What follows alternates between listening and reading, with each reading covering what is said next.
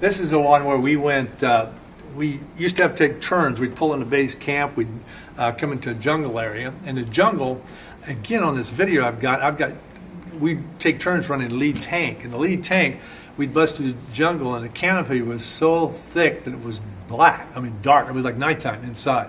But then we raised the sun coming through, and we took turns to lead tanks. And we'd come to an area, and if we came to an area that was kind of halfway clear, then we'd take our tanks, which were M48A3 Patton tanks, and we would bust all that area down and make it complete, just like cowboys and Indians. And it was just, and all the tanks would be in a circle. And then we would uh, go out just before the sun set, about two or three hundred yards.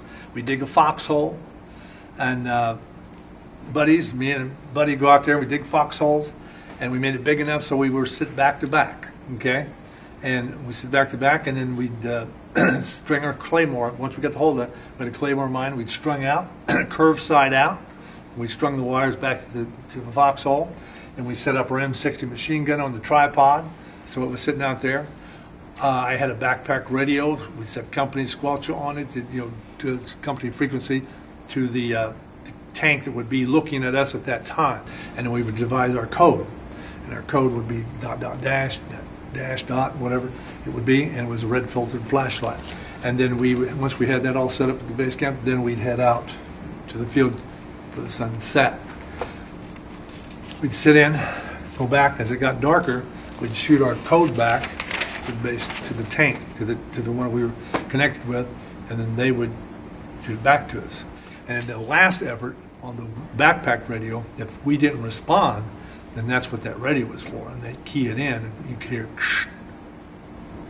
And if we didn't key it back, you know, and we didn't respond this way, then they would bring that 90 over, drop it down, put a canister round in it. It was about this big, full of like uh, razor, about the size of razor pellets and stuff, and they'd blow that area right away because you were gone. You were taken over. They take you over. That's what they assumed. They connect with us hour on the hour, but two on, two off on the sleep thing, two on, two off, and that was, uh, and that's, and if the guy fell asleep, and then this one, and if you had the rain coming on, the monsoons, and that water, our hole would be filling up, and we had those ponchos on, and it just, and, and then all this monkey stuff going on out there, and it got real squirrely, and that's where a lot of guys lost their, not got crazy, got lost. The guy was telling me about the lost his mind.